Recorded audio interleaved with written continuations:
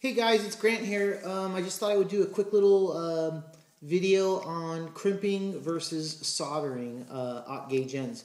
Um, this is a, a traditional, uh, what we'd call like a smash terminal crimper.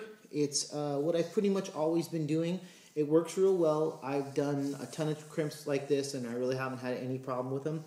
Um, the downside to it is it kind of makes a mess of the terminal and if you're working like in an engine compartment or something like that, um, it's pretty hard to have a nice solid base to where you need to uh, hammer down and, and uh, create the, uh, the pressure needed to, uh, to smash this thing down. It's, it's pretty archaic, you know, sort of like a guillotine. This thing gets raised up, the crimp gets dropped inside here, and then you just uh, smash down on it, and it, uh, it creates a pretty good sized dent in the bottom of the, or the, the top of the, the, um, the crimp here and creates a connection.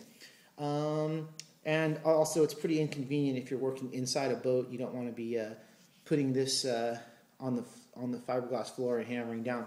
So the other way you can do it is you can, um, you can solder them. And um, this is something that I just started doing. Um, actually, Johnny gave me a cool little tip, and it is to uh, basically this is just a CarQuest uh, crimp here.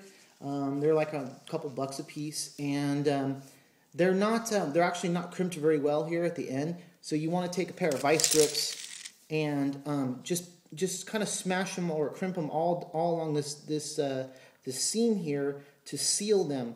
Um, when you actually end up putting this, when you actually end up putting the solder in, um, and then you shove the wire into the terminal, it creates quite a lot of pressure, and the solder tends to bleed out around this ring or even when you're just melting it in there, it tends to uh, to bleed out. So um, I've crimped this to kind of speed up the video, and what I do is just hold uh, the crimp inside of vice grips here, and then um, I'm using this uh, rosin core uh, 4060 solder. This stuff's real, real thick.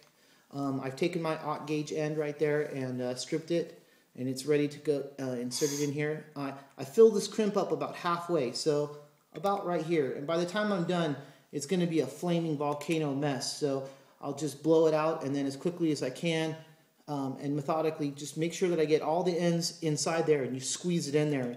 Sometimes you'll have a little bit of solder flow out. Sometimes it'll, it'll go in perfectly. But if it's nice and hot, the solder will actually creep right up the, uh, the wire as you're inserting it. So here we go.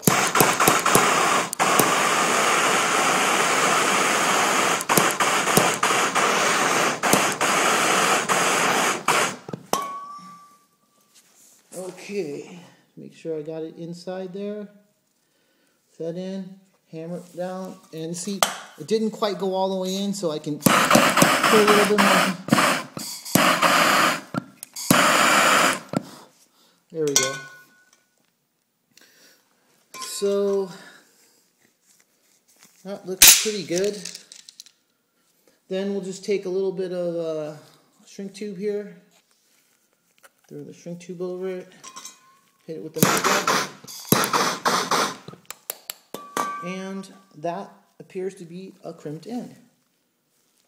So, or sorry, a soldered end. Okay, bye-bye.